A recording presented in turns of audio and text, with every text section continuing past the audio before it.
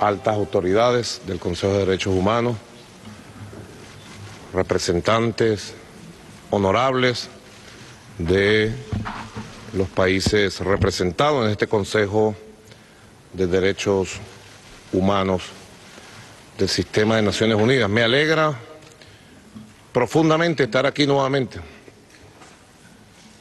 Hace algunos años, como ministro de Relaciones Exteriores de nuestra República Bolivariana de Venezuela, me correspondió estar defendiendo la verdad de nuestra patria en el examen periódico universal del año 2011, que afrontamos siempre de manera transparente y siempre Venezuela en batalla, por la verdad. No es la primera vez que algún funcionario por allí lanza acusaciones temerarias, tomadas de las agendas de acoso mundial de la media imperial contra la patria de Simón Bolívar. Y no será la primera vez que derrumbemos las mentiras con la poderosa fuerza de la verdad que tiene nuestra patria. Muchas gracias por recibirme. Traigo la verdad de Venezuela nuevamente. Ahora como presidente de nuestra amada patria y agradezco a todo el sistema de Naciones Unidas el apoyo permanente que le dan a Venezuela en los procesos de construcción progresiva de un nuevo Estado, como reza nuestra Constitución, de un nuevo Estado social, de un nuevo Estado de Derecho, de un nuevo Estado de Justicia, de un nuevo Estado democrático.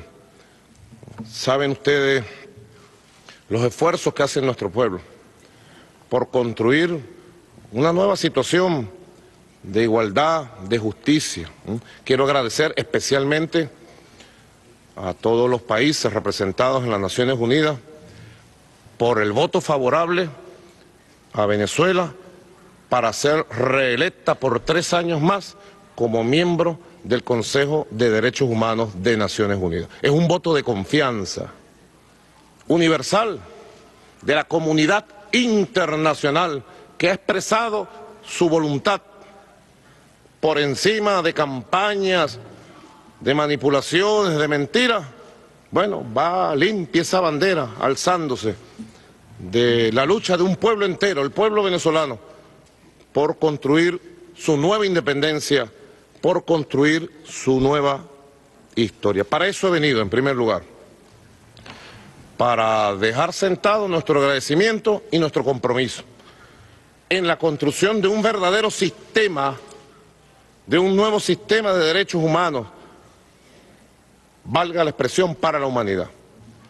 Importantes esfuerzos culminaron en el año 2006 con la creación de este Consejo de Derechos Humanos. Y tenemos que decir, al pasar de estos años, ha valido la pena, pero falta mucho por hacer. Tendríamos que decir desde los pueblos, desde los gobiernos, falta mucho para hacer para consolidar un sistema de derechos humanos, para consolidar este cuerpo colegiado, colectivo, que permita ir estableciendo lo que dice en la puerta de la sala al entrar de esta magnífica instalación, para ir estableciendo un verdadero diálogo de civilizaciones, un verdadero diálogo humano, donde no se quiere imponer un criterio sobre los pueblos, sino donde se quiere entender la historia de dónde venimos nosotros, qué somos hoy y qué buscamos ser hacia el futuro. Los pueblos de la América Latina, los pueblos del Caribe, los pueblos de África, los pueblos de Asia, los pueblos del mundo que tenemos una historia, que ha ido conformando una identidad, una identidad en la búsqueda humana. Somos nosotros, como muchas veces lo dijo nuestro comandante Hugo Chávez, a quien invoco y recuerdo, magnífico líder de esta humanidad del siglo XXI. Somos nosotros, aquí estamos, reconozcámonos, somos nosotros, desde la América del Sur, los pueblos que ayer fuimos esclavos y martirizados. ¿Cuántos siglos de martirio y de esclavismo sufrieron nuestros abuelos? ¿Quién habla del holocausto indígena 80 millones de seres humanos exterminados para imponer la verdad de aquella época, la misma verdad imperial y colonial a la usanza de hace 500 años. Se nos trató de decir que era el descubrimiento, venían a descubrirnos, vinieron fue a exterminarnos. ¿Quién habla del holocausto afroamericano? ¿Cuántos abuelos nuestros fueron desterrados, secuestrados, sacados de su raíz primigenia, de su cultura, de su religión, y vinieron a darnos la textura de este color, la fuerza de nuestro ritmo, pero también vinieron a dejar una estela de dolor. 40, 60 millones de abuelos africanos fueron traídos, asesinados. Todavía las investigaciones no arrojan resultados conclusivos, pero toda la América nuestra fue llena de esclavismo, que hoy tiene su continuación más directa en el racismo que todavía combatimos los pueblos del mundo. Fuimos los pueblos esclavos, martirizados, y hoy estamos aquí de pie. De pueblos esclavos martirizados, hoy somos pueblos libres, buscando un camino, cada quien respetando sus ritmos. Nadie puede venir a enarbolar un modelo de sistema político, de sistema económico que sea uniforme, de pensamiento único para imponérnoslos a todos. No. Así como lo hicimos en los últimos dos días que participamos en extraordinaria cumbre en Arabia Saudita, entre los países árabes y los países de América del Sur, hoy venimos también a ratificar el derecho de los pueblos del sur a ser nosotros mismos y a que se nos respete en nuestra identidad y en nuestra búsqueda, en nuestra idiosincrasia.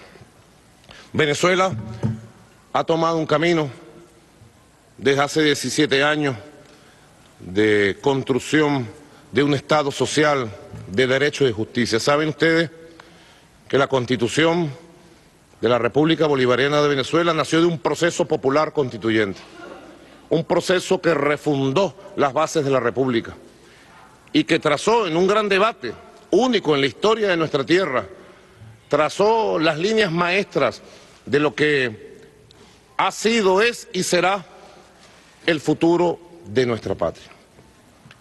Pudiéramos decir que hace 17 años, con el proceso constituyente que fundó esta constitución y que trazó los destinos presentes y futuros de nuestra patria, nació una nueva forma de ver la construcción de los derechos humanos. Por primera vez en Venezuela. Ver los derechos humanos como un cuerpo indivisible, integral, que agrupa un conjunto de dimensiones y pone al ser humano en el centro de los esfuerzos para el desarrollo de las distintas dimensiones que lo lleven a la felicidad social, como fue el concepto histórico que legáramos de Simón Bolívar en su discurso de angostura del 15 de febrero de 1819. Decía el libertador Simón Bolívar, el mejor sistema de gobierno es aquel que sume y aporte a su pueblo la mayor suma de felicidad social, la mayor suma de seguridad social y la mayor suma de estabilidad política. Conceptos que integró, la mayor suma de felicidad social. De ahí nosotros hemos tomado, nuestro comandante Chávez tomó el legado del libertador Simón Bolívar, precisamente para empezar a construir un concepto integral y poner al ser humano en el centro de los esfuerzos. Esta constitución que fue escrita de puño y letra de millones de seres humanos y que es la única constitución en la historia de Venezuela que fue consultada y fue votada y aprobada en votación pública, transparente, legítima por el pueblo de Venezuela, establece en su tercer título nueve capítulos donde define muy claramente este concepto que para Venezuela a pesar de ser aprobado en 1999, representó la llegada del siglo XXI temprano a nuestra patria. Define claramente la protección de los derechos de sectores sensibles de la sociedad de nuestros niños y niñas. Los define como sujetos de derecho constitucional y social. define la protección por primera vez en la historia de los derechos ambientales, ya en 1999. Define la protección especial de los sistemas de salud, educación pública gratuita de calidad universal. Define la protección de los derechos laborales de los trabajadores, el derecho a la estabilidad, a la calidad del trabajo, del empleo. Define la protección de los derechos salariales, contractuales.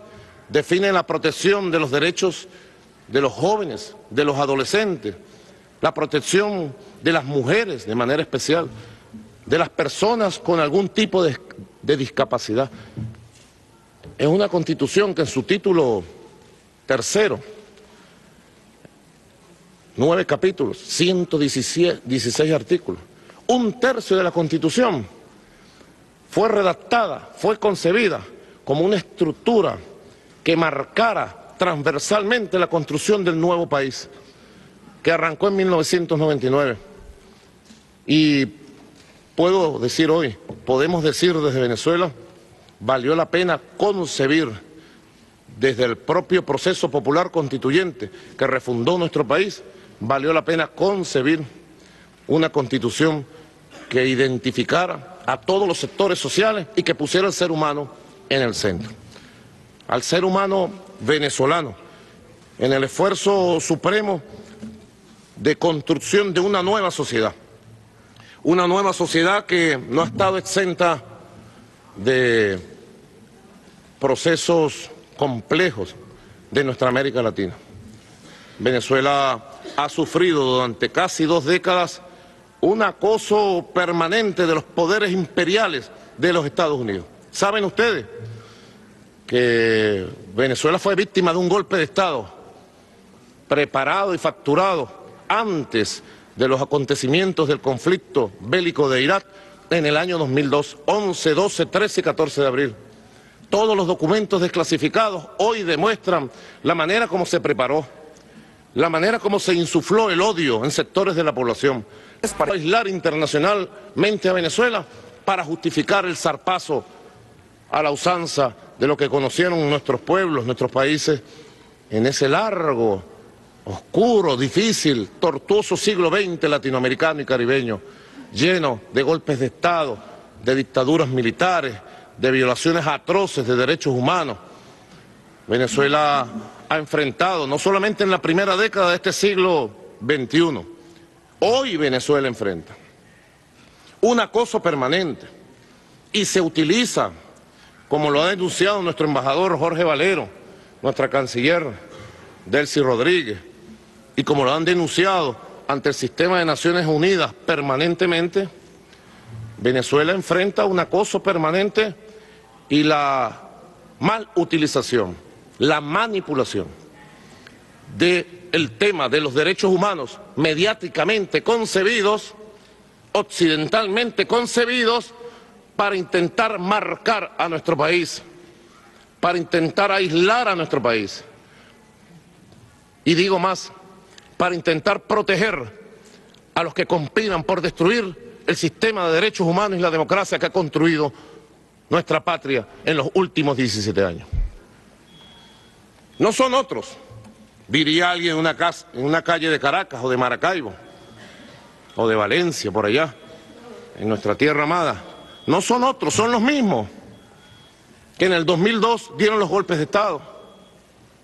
Son los mismos que buscan una especie de impunidad internacional para poder conspirar, violentar sociedades enteras, intentar derrocar gobiernos legítimos como el que yo presido en nuestro país. Son los mismos que cuentan con todo el apoyo financiero, mediático, y que cuentan con algunas estructuras del sistema internacional de Naciones Unidas para avalar la violencia descarada, monstruosa. El año pasado apenas, saben ustedes, 2014, en esta sala han estado las madres, las viudas, las hijas, los hijos de las víctimas asesinadas en el año 2014, en el primer semestre del año 2014. Saben ustedes que se desplegó una operación violenta que se incendió medio país 43 víctimas mortales, una por uno. Los casos han sido investigados y juzgados en el Poder Judicial venezolano, al cual exijo respeto de quienes lo atacan de manera ruin y cobarde. Poder Judicial venezolano que se ha levantado de las cenizas de la más horripilante corrupción y parcialización clasista. Ahí están los procesos de investigación. 43 víctimas mortales y más de 900 víctimas que muchos de ellos, pido perdón por la expresión que voy a usar, muchos de ellos han quedado casi muertos en vida. Más de 900 víctimas,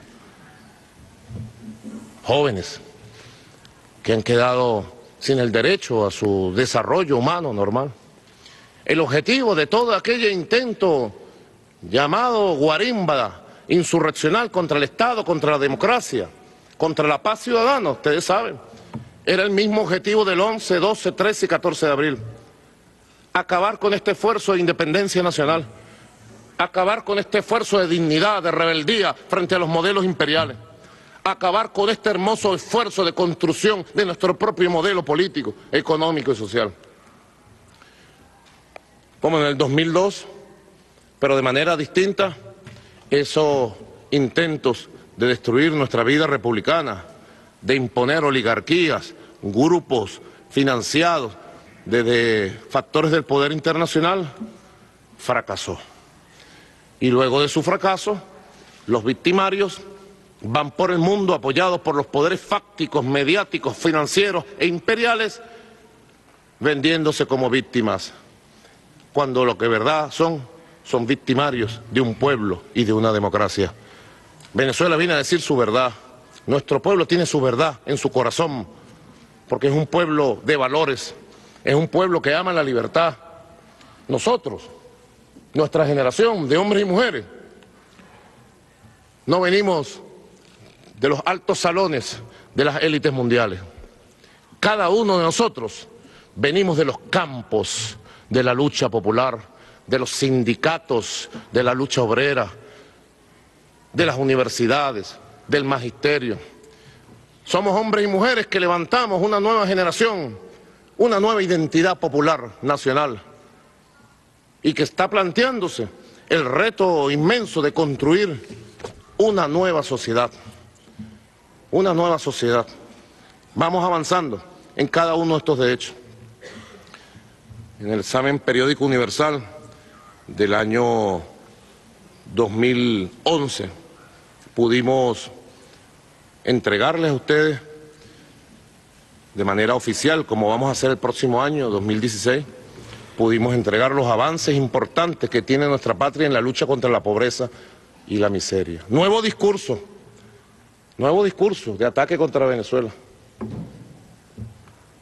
Hoy puedo decir, a pesar de un año 2015 difícil por una guerra económica y porque los precios del principal producto de exportación del petróleo se desplomaron un 64%, hoy Venezuela va a cerrar este año con cifras récord de reducción de la pobreza y de la miseria. No es verdad que hay una tendencia tangible de aumento de la pobreza y de la miseria. Venezuela tiene un conjunto de planes sociales en un sistema de misiones y grandes misiones que protege a nuestro pueblo en la educación pública, gratuita, expansiva y de calidad, en la construcción de un nuevo sistema de salud pública que hoy por hoy atiende al 83% de los venezolanos, en la construcción de un sistema de construcción de vivienda que rompe récord en construcción de vivienda en el mundo, viviendas decentes, con el desarrollo del concepto del hábitat como elemento integrador para que el ser humano viva en comunidad. Hoy, por hoy también tengo que decir que por la implementación de inversiones públicas, a pesar también de la guerra económica y de la caída abrupta de los ingresos públicos de la exportación petrolera, Venezuela viene defendiendo también la generación de empleo y este año Venezuela debe cerrar con los índices más bajos de desempleo, más bajos de desempleo de nuestra historia. Quizás estemos marcando un 4.7, un 4.8, que es mucho decir, pero además la calidad del empleo que se está generando, la protección del empleo, la protección del ingreso, del salario de manera permanente. En esta constitución, yo fui constituyente, participé en su redacción, en las consultas públicas que realizamos para su redacción, y establecimos algo que para nosotros, los luchadores sindicales de los años 80 y 90, era un sueño.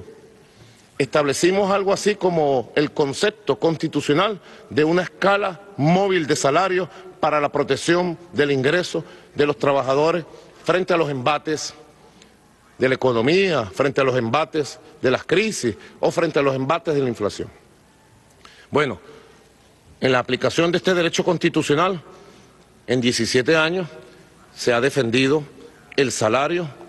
Este año, solamente este año, hemos establecido un sistema de protección trimestral del salario y ha habido cuatro ajustes y aumentos salariales muy por encima de la inflación, siempre cuidando el ingreso como un elemento fundamental que sumado a las políticas públicas de las misiones y grandes misiones va acompañando y va colocando al ser humano en el centro.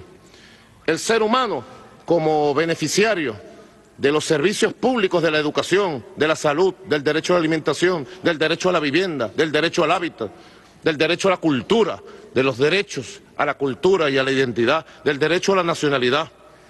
Un conjunto de políticas públicas que hoy por hoy nos permiten ser optimistas y que han sido sometidas a distintas coyunturas.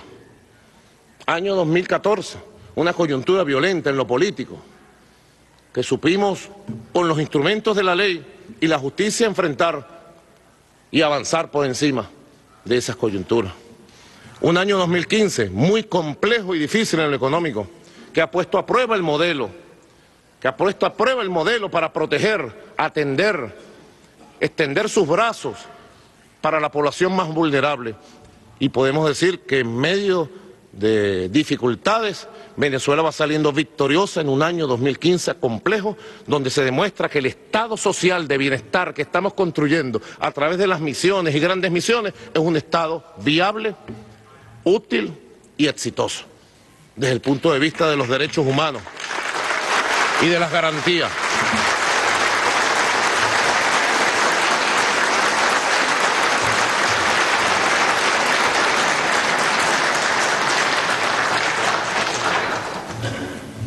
El año pasado, bueno, en medio de las circunstancias que he citado y que ustedes conocen, invitamos a una comisión especial de la Unión de Naciones Suramericanas a acompañarnos en los procesos de diálogo para tratar de canalizar política y pacíficamente esta situación de insurgencia de grupos extremistas contra la democracia venezolana. No son cualquier grupo extremista, queridos hermanos, queridas hermanas del mundo. No son cualquier grupo, son grupos muy poderosos en lo económico, en lo mediático, con apoyo muy poderoso del mundo, de los lobbies del mundo, que tocan puertas, que abren puertas, que ponen funcionarios, que reciben llamadas para hacer declaraciones,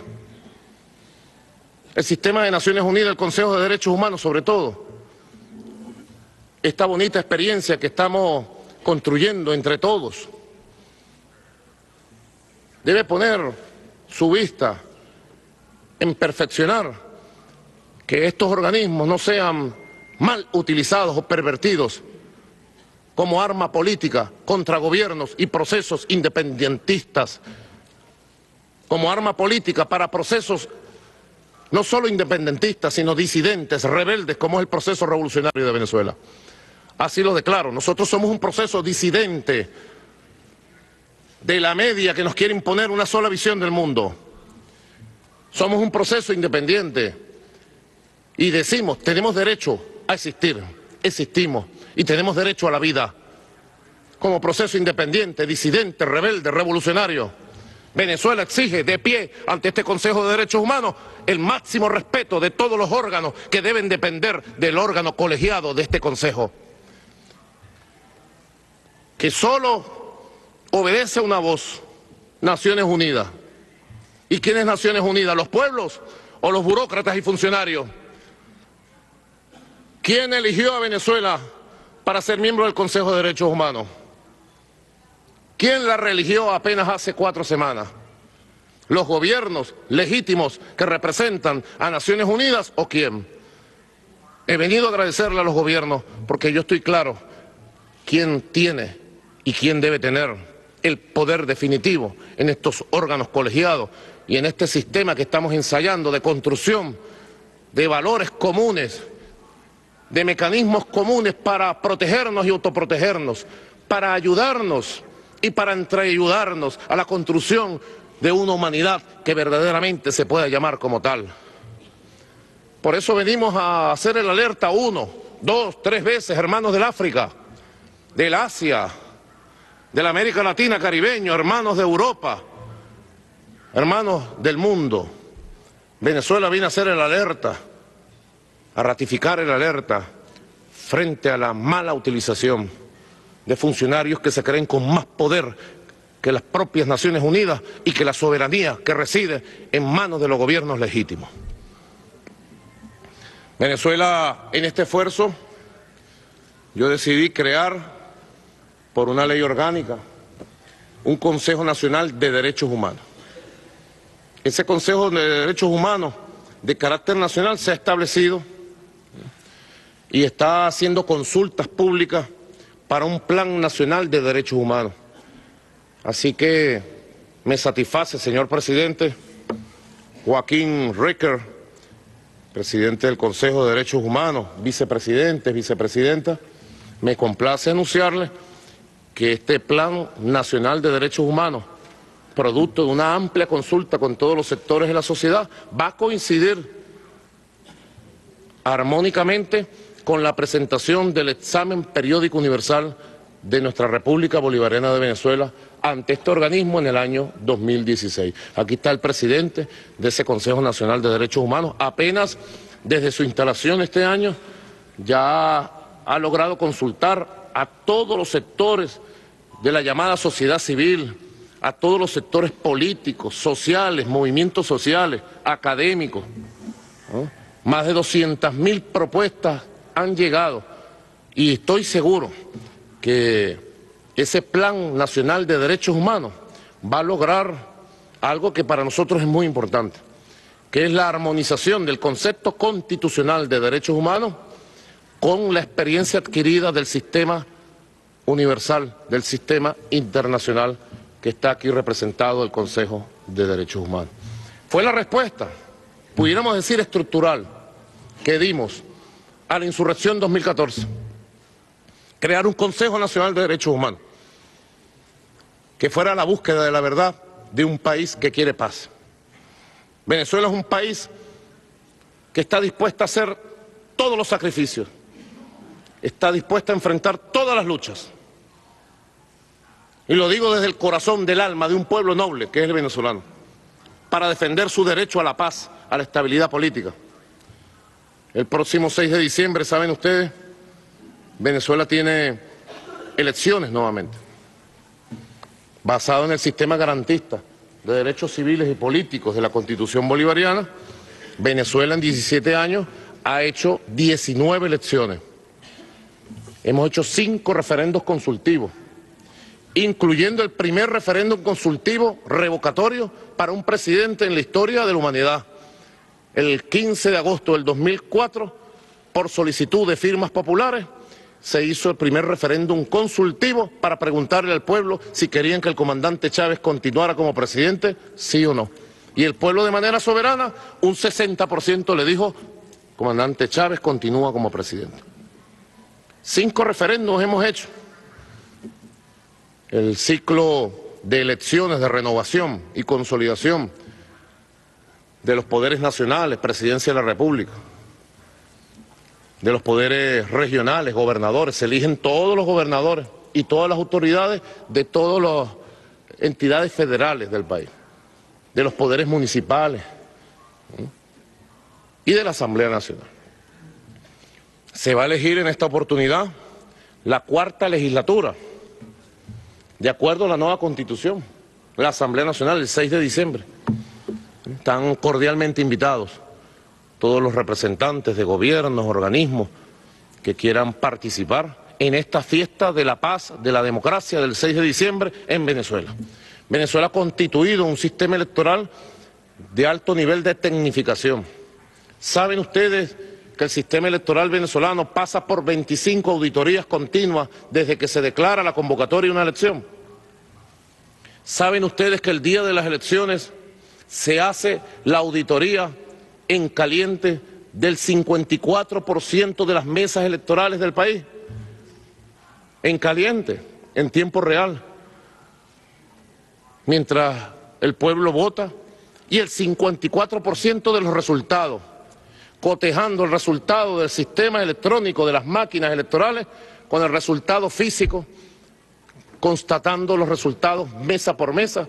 Creo que es el único país del mundo que conozcamos, pido disculpas si no es así, que se haga tantos procesos de verificación de funcionamiento del sistema electoral. El 6 de diciembre vamos a tener una cita en estas tensiones que se crean alrededor de tratar de vulnerar, como dijera el general Kelly, general del ejército de Estados Unidos, saben ustedes que hace una semana el general Kelly, jefe del Comando Sur, dijo que Venezuela iba a implosionar políticamente, socialmente, y lanzó un conjunto de pronunciamientos que sin lugar a dudas en boca de un general del ejército de los Estados Unidos, comandante del Comando Sur, no son simples reflexiones al aire, son mandatos, son certezas, son ataques, son amenazas. Venezuela, bueno, se está defendiendo con la única arma que tenemos, la verdad con la única arma que tenemos, la conciencia nacional. Y yo estoy seguro, se los digo aquí, hoy, jueves 12 de noviembre del 2015, yo estoy seguro que en las próximas semanas, cuando se realicen las elecciones del 6 de diciembre, nuestro pueblo va a ratificar su vocación de paz, de soberanía, de democracia y de libertad. Son retos de los sistemas políticos, sociales, económicos que estamos enfrentando. Yo agradezco profundamente esta oportunidad de diálogo, de encuentro sincero, de debate. Estamos llegando, aterrizando apenas hace unos minutos de Arabia Saudita, de una extraordinaria cumbre, estaba diciendo, de los nuevos sistemas del nuevo regionalismo mundial. Un nuevo regionalismo ha nacido apunta hacia un mundo pluripolar, multicéntrico. Nosotros amamos el sueño de construir un mundo multipolar, multicéntrico en lo político, en lo económico, en lo humano. Practicamos y amamos la idea del diálogo de civilizaciones y de cultura. Eso es lo que hemos ido a hacer Arabia Saudita. Y ahí no hemos encontrado la América del Sur que existe, porque la América del Sur también existe, como dijera Mario Benedetti y Eduardo Galeano. Nuestra América del Sur se ha ido a encontrar con los pueblos hermanos del mundo árabe. Cuarta cumbre, se ha decidido hacer una quinta cumbre en el 2018 en Venezuela. Gracias, le hemos dado. Y de ese diálogo hemos venido a aterrizar aquí en el Consejo de Derechos Humanos a este diálogo también humano de civilizaciones. Venezuela asume el escaño por tres años más. Año 2016, año 2018. Todos los años que están transcurriendo de este nuevo siglo XXI son cruciales. ¿Qué va a pasar en estos tres años con la migración dolorosa, humanitaria, de los pueblos del Medio Oriente, de los pueblos del África hacia Europa? Creo que nadie tiene una bolita mágica, pero más allá de una bolita mágica, podemos imaginarnos el dolor que ya ha causado las guerras de saqueo y destrucción, el intervencionismo ilegal que destruyó Libia, que caotizó Afganistán, que ha destruido Siria. ¿Por qué emprenden el camino hacia Europa? Miles y miles de hermanos y hermanas del África y del Asia y del Medio Oriente, buscando salir del desierto, buscando un oasis de paz, de estabilidad, de tranquilidad. ¿Qué pasará en los próximos tres años? Venezuela viene a poner su voz y su esfuerzo para resolver la crisis humanitaria que está aquejando a nuestros hermanos pueblos y que está afectando a toda Europa. Lo ponemos como elemento número uno en nuestra agenda y en la agenda que proponemos compartida. Atender a los miles y miles de migrantes, protegerlos. No puede ser que esté ocurriendo en el Mediterráneo lo que está ocurriendo. ¿Qué dirá el alto comisionado de derechos humanos sobre lo que sucede en el Mediterráneo y la muerte de miles y de miles y de miles? ¿Será que ha ido al Mediterráneo a atenderlo?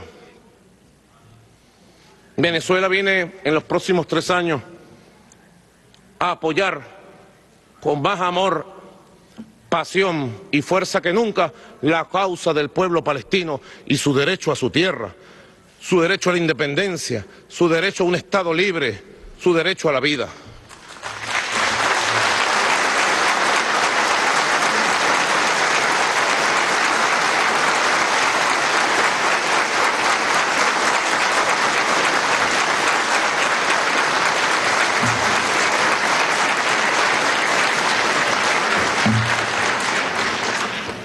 Por eso le damos gracias a la comunidad internacional por habernos dado su voto de confianza en la Asamblea General de Naciones Unidas, porque venimos a defender las causas más justas que están en el centro de la humanidad y que deben unirnos a todos, porque detrás de esos eventos, detrás de estas circunstancias dolorosas de la migración, hacia Europa, de la guerra, detrás de la causa palestina, están las mismas razones que la crearon. El respeto al derecho a la vida de los pueblos, la imposición de los modelos a través de la guerra, el intento de imponerse hegemónicamente como potencias dominantes por encima de la voluntad de los pueblos que ayer fuimos esclavos y ayer fuimos colonia y hoy queremos ser pueblos libres, hombres y mujeres libres. Es la misma causa para toda la creación de los conflictos. Así que Venezuela viene a ratificar su voz. Excelentísimo señor presidente, vicepresidente, vicepresidente. Su voz y su compromiso en esta batalla tremenda. Venezuela el próximo año asume, como ustedes saben, la presidencia del Movimiento de Países No Alineados que agrupa a 120 países de nuestro sistema de Naciones Unidas y desde el Consejo de Derechos Humanos queremos aportar de manera humilde pero apasionada en la presidencia del Movimiento de Países No Alineados todo el proceso que nos lleve al perfeccionamiento de este sistema que ha nacido como un ensayo si pudiéramos decir un ensayo feliz o infeliz, creo que es un ensayo feliz, porque ha sentado las bases este Consejo de Derechos Humanos de elementos claves que rectifican los errores que llevaron a la decadencia de los mecanismos que existieron para vigilar, garantizar y proteger los derechos humanos en el pasado a nivel de Naciones Unidas. Buen ejemplo, siempre lo colocamos, buen ejemplo de cómo es posible renovar, cómo es posible hacer cambios que se sintonicen con el deseo mayoritario de la humanidad. Lo que sucedió en el 2006 y nosotros aportamos todo nuestro optimismo para que este Consejo de Derechos Humanos como experimento del sistema de Naciones Unidas siga transitando sus caminos para consolidarse, para perfeccionarse para rectificar errores, para poner estos micrófonos al servicio de quienes tienen que estar, al servicio de la verdad de nuestros pueblos, de la legítima verdad de los pueblos del mundo, que son los que tienen que hablar en este Consejo de Derechos Humanos. Quiero agradecer, señor presidente, esta inmensa oportunidad que hemos tenido para traer la verdad de Venezuela y para seguir contribuyendo en este poderoso diálogo humanos en este diálogo de civilizaciones para construir un verdadero sistema de derechos humanos que nos apoye, nos ayude y nos proteja a todos. Muchas gracias a todos. Muchas gracias a todos. De escuchar palabras del presidente de la República, Nicolás Maduro Moros, en la sala del Consejo de Derechos Humanos de, la de las Organizaciones de las Naciones Unidas. El primer mandatario venezolano manifestaba que es importante que el sistema de la ONU y especialmente el Consejo de Derechos Humanos mm, debe poner en vista eh, para perfeccionar estos organismos, para que no sean precisamente utilizados como un arma política yo quisiera dar las gracias al excelentísimo señor Nicolás Maduro, presidente de la República Bolivariana de Venezuela, por su declaración. Con esto llega a su fin esta sesión especial. Gracias a todos por estar aquí. Declaro cerrada esta sesión especial del Consejo de Derechos Humanos. Mencionábamos que el primer mandatario hacía referencia que el sistema de la Organización de las Naciones Unidas debe mejorar este organismo precisamente para que no sea utilizado como un arma política contra procesos rebeldes y disidentes de los que quieren imponer una sola visión en el mundo. También mencionó que Venezuela viene el día de hoy a la ONU a ratificar la alerta frente a funcionarios que se creen con más poder que las Naciones Unidas en manos de estados legítimos. Es la información hasta el momento desde Ginebra, Suiza, y con esto vamos vamos a retornar nuevamente el contacto en Caracas. Adelante. Bien amigos, nuevamente la voz de Venezuela se alza ante el mundo por parte del presidente de la República, Nicolás Maduro, ante eh, la Organización de las Naciones Unidas, este Consejo de Derechos Humanos. Recordemos que Venezuela fue reelecta por tres años más como miembro en estos 47 países.